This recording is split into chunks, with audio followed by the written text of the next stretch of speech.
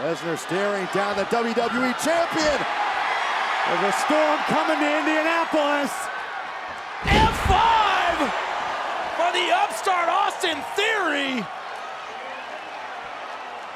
Message sent from the Beast incarnate.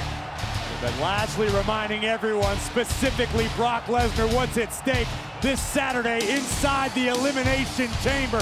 WWE Championship on the line.